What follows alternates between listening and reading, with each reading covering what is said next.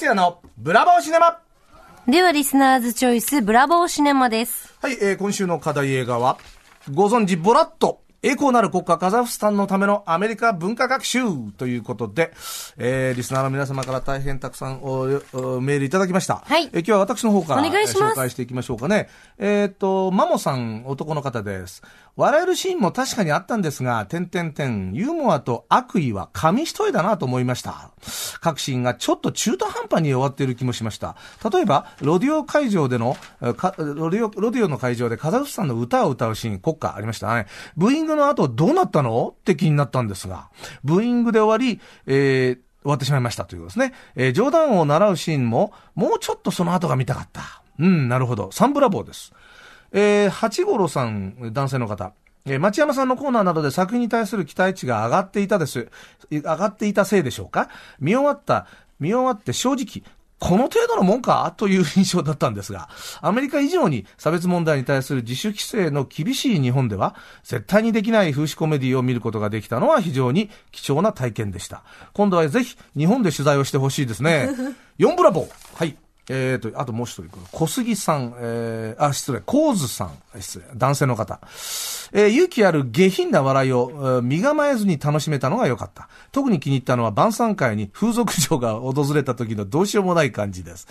こちらの方も4ブラボー。えー他にもたくさんありますが、ちょっと今日は時間がだいぶ押しておりまして、えーリスナーの皆さんの平均ブラボーしますと、3.333ブラボー。最多ブラボーは4ブラボーということでございますが、はい。えー、私はもう、これ、もういろんなところでもね、えーご紹介もしてしてますけど、やっぱり、基本はあの、この、リスナーの方もおっしゃってましたけども、ユーモアと悪意は紙一重。この悪意というのがね、思えるほど、この、ボラットはギリギリまでアメリカ人を、その沸点のギリギリまで追い詰めるのよね。で、だから、つまり、ここまで言うと、おピンタしてて、これどうなんだよ、パチン、パチン、パチンって言ったら、あの、ピンタして、バーンとノックやって、急に向こうが怒ってくると、ああ、そうか、ここがこいつの沸点なのかとわかるような。例えば、あの、その晩餐のシーンなんですけど、例のね、えマナー教室。で、ブラッドがいて、で、なんか、新種淑女の本当になんか、地元の裁判官とか、そんな人ばっかり、あと、あの、その夫人とか伴って、ですごい、あのディナーパーティーで、そこでいろんな、もう下品な話が出てきちゃったりとか、それをこう、やるわけですよ。で最後にはトイレの使い方わかんないと。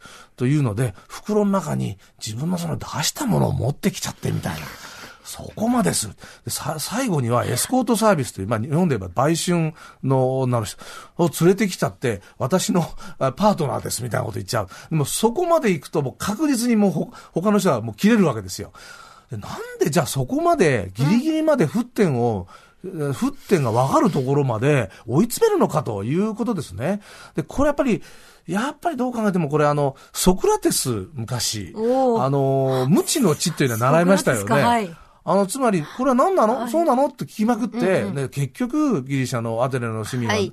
え自分が何も知らなかったということをよく分かったという、質問しまくり親父ね。はいはいはいはい。つまりそれをブラッドがやってるわけですよね。つまり、こうだ、こうだ、こうなんですか？どうなんですか？でどうやったらモテるんですか？どうやったらギャグが言えるんですか？どうやったら自由が学べるんですか？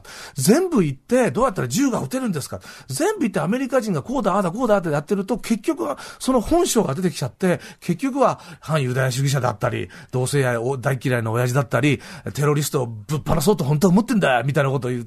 だからね、ソクラテスみたいなことをやってる。だからギリシャの昔からあるやり方を、まあ、ね電波少年のやり方をやり、やって映画を作った。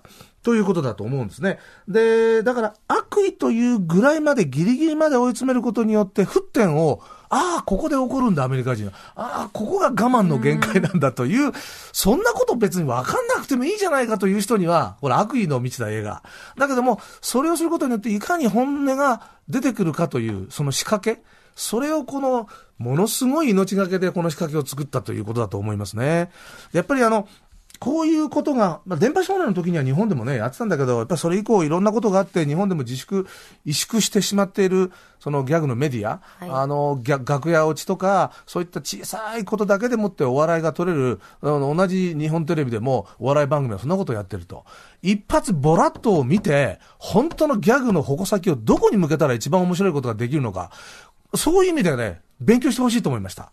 はい。はい。では、ごブラボー満点でお願いします。日本でもぜひこういうことをやってほしいということを込めて、ごブラボーはい。はい今日はクイズです。えー、カザフスタン、偽のカザフスタン人のブラッドがカザフスタン式の結婚式でやることは次のうちのどれだったでしょう ?1 番、花嫁を袋に入れる。2番、ピアノで小袋を歌う。3番、お嫁サンバを歌う。ご存知1番の花嫁を袋に入れるでございました。えー、他の2つは藤原紀子さんの結婚式でやったことですね。はい、映画第5戦プレゼント、お二人の方エンディングで発表です。来週はスペシャルウィークですね。このコーナーもスペシャルで5000円は5人5に人です増えますよ。はいでは、その課題映画お願いします。パイレーツ・オブ・カリビアン・ワールド・エンドということで、映画ランキング1位、もう皆さんよくご存知の映画でございますよ。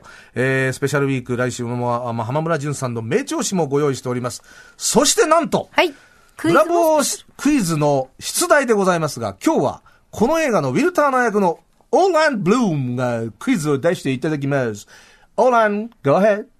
いやだ、もう。Thank you, オーラ Thank ン you, ということでえー、オーランド・ブルームが、えー、言語で、えー読んでいただきました。来週もお翻訳がつきます。えー、ぜひご応募していただきたいと思います。はい。